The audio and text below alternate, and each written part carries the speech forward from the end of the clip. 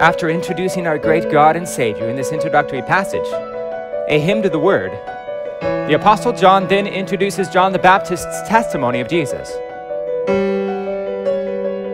Now, during the ministry of John the Baptist, the Pharisees had sent priests and Levites from Jerusalem to John, who was baptizing in the Judean wilderness, to ask of him who he was. And this was John's reply. Let's go back to John chapter 1. I am the voice of one crying out in the wilderness, Make straight the way of the Lord, as the prophet Isaiah said. So they said to him, Then why are you baptizing if you are neither the Christ, nor Elijah, nor the prophet? John answered them, I baptize with water, but among you stands one you do not know, even he who comes after me, the strap of whose sandal I am not worthy to untie.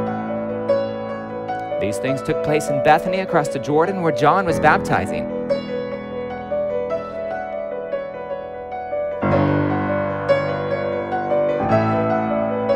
On the next day, he saw Jesus coming toward him and said, Behold, the Lamb of God who takes away the sin of the world.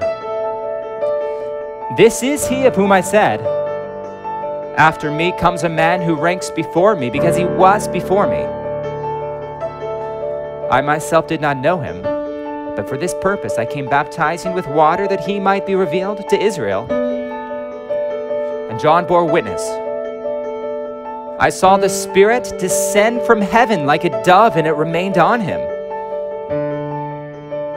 I myself did not know him, but he who sent me to baptize with water, he said to me, He on whom you see the Spirit descend and remain this is he who baptized with the Holy Spirit.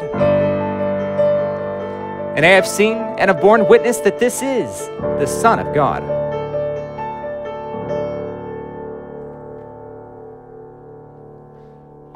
On the next day again, John was standing with two of his disciples, and he looked at Jesus as he walked by and said, Behold the Lamb of God.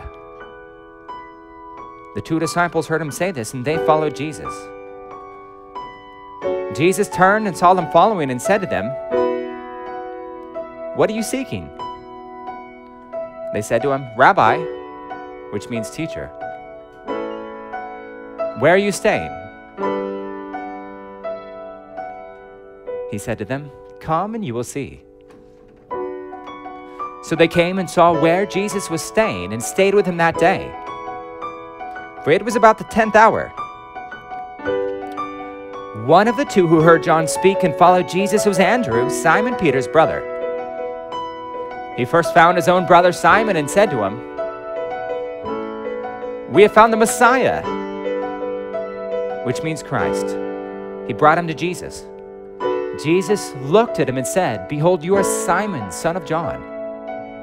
You shall be called Cephas, which means Peter.